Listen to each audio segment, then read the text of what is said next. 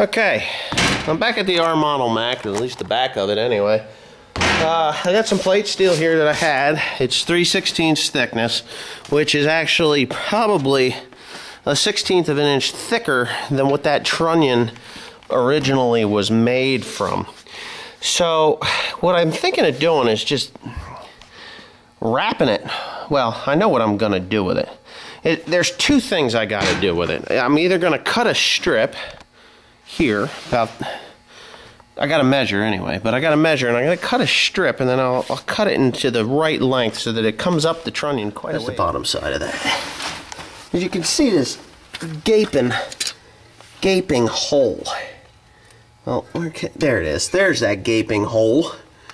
I got that gaping hole there, and then that crack that goes up the back. It looks like the, I don't know, the mouth of the Mississippi, maybe. Uh, as you yeah. can see. So, I think what I'm going to do is I'm actually going to cut some more of that out of there. Uh, just because it's ugly. Um, like right down in here, this is really thin. It really doesn't matter because I'm going to grind this here where I got that bird crap weld. Or you know, I'm gonna grind that all off of there. Got my grinder down here. And I'll get that square. I'm probably just gonna lay that flat, I'm gonna measure that flat iron here, up here, the length of this, which I'm thinking is about six inches, and then I think four inches.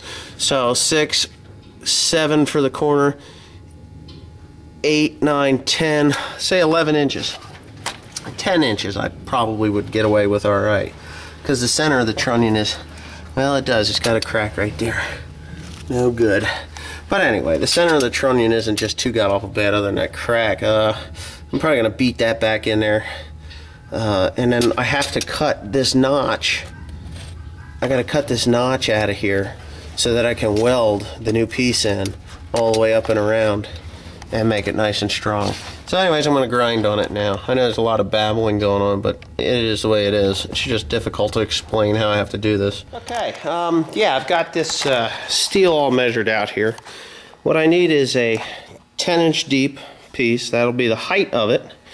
And seven and a half inches across the center. So I'm going to have this little piece sticking out the top there.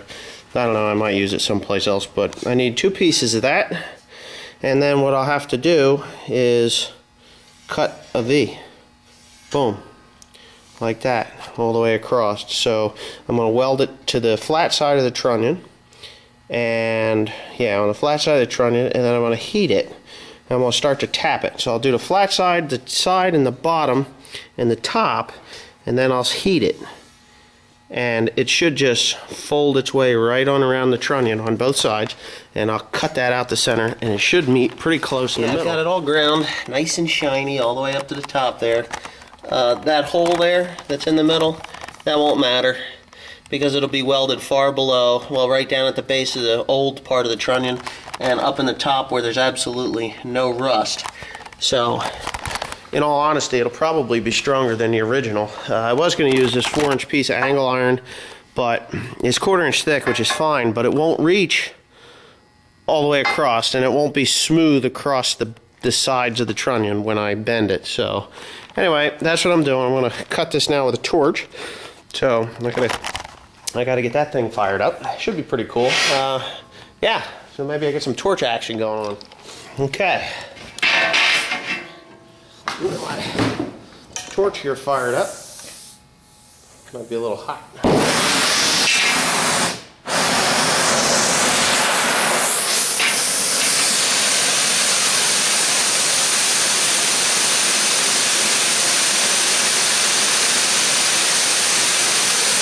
some good gloves on, to save you some nasty burns. That's the voice of experience talking.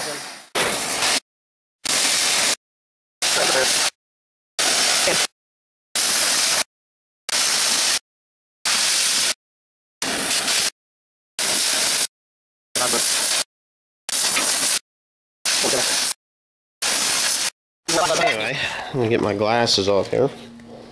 Yeah, these aren't the best cuts. Uh, I think the torch tip needs to be cleaned. Something terrible. But, yeah, that's actually about a 16th of an inch thicker than the original. So, yeah, that's just a bunch of crappy old slag there. But all in all, the cuts aren't too bad. that section out that needs to go. You see that divot that's down in there? Well, that's the that's uh, weldable spot on there, and I need to be able to weld that. I don't want to weld it to that cast piece that's down below. I think it's cast steel, not cast iron, but still, it's uh, it is machined, so it's probably cast steel. But anyway, just make it look nicer and probably stronger if I did it that way anyway. So anyway, I'm gonna grind these up here and uh, I'll get started welding here pretty soon. I have to go pick Tim up. Okay, I'm under this truck. It's really tight quarters in here and uh, doing some welding. I overlapped it at the center there uh, one with the other. I heated it up there and bull peen hammered the thing so it's flat at the top and at the bottom. And it is welded in. You can see it looks pretty okay.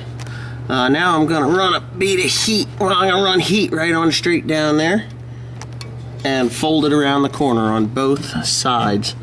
So yeah, and that should fill it in really nicely. So Tim's gonna get my gas going and I should be up to go. Okay, here's a top side view of it. Um, yeah, got my welds in there. I don't know, they're not the greatest, I guess. Well, they ain't bad. For where I'm at, I mean, I'm on the top now, but underneath there, boy, what a job that was. But you can see how I overlapped it in the center, take up some of that uh, weakness where it was cracked up really bad in the center. So that doubles it up in the middle. Uh, should be good. Uh, the bottom's all welded up nice. Um, sides, yeah, we're pretty good there. So now I got to move over to the other side, which is going to take a little bit of time because I got to crawl under there, reheat it, and do it all over again. So, Mr. Tim over there, see Mr. Tim? Hey, Mr. Tim. What? Yeah, you helping? Yeah. yeah. I got two things on at once. You and this. Yeah, I know. I see. You got your little go kart. I'll do the going first run of his go kart myself. But anyways, right now we're working on a trunnion, so that'd be underneath there, and that's where I'm going right now. Underneath. Uh, Give me that light. Give me the light. Okay. There it is. All welded up. No more holes. I heated it up. Hey Tim, did you shut the gas off to them torches? Yes. Okay.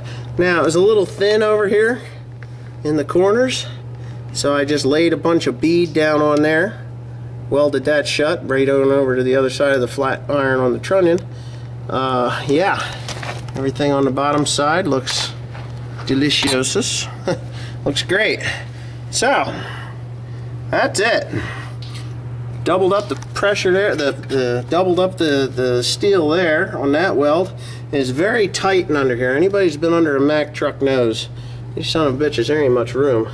But all the way around the entire thing, it looks wonderful. No cracks in the front side, no cracks on the bottom side, no cracks up there.